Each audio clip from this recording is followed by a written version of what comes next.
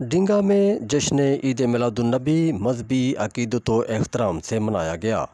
मरकज़ी जामिया मस्जिद ईदगाह डिंगा से अलामा मोहम्मद ताहिर रज़ा नक्शबंदी और अलामा कदीस रज़ा केलानी की क़्यादत में जुलूस रवाना हुआ, जिसमें एम पी ए मियाँ मोहम्मद अख्तर खजात समेत हज़ारों अफराद ने शिरकत हम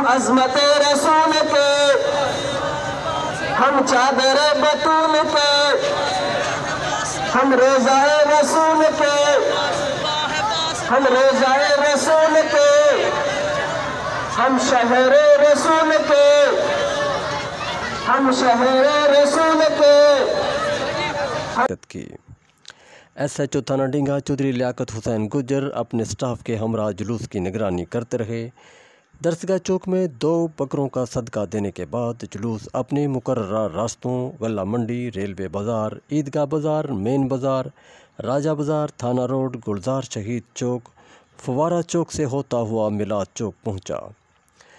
जुलूस के रास्ते में बनाए गए स्टेज पर केक काटे गए और कराम ने खताबात किए दरसगाह चौक में शुरू का जुलूस के लिए डीजी प्रॉपर्टीज़ की तरफ़ से नाश्ते का वसी इंतज़ाम किया गया था रावी रोड और शहर के मुख्तलिफ़ मकाम पर शहरीों ने गुलपाशी करके जुलूस का पुरतपाक इस्तकबाल किया।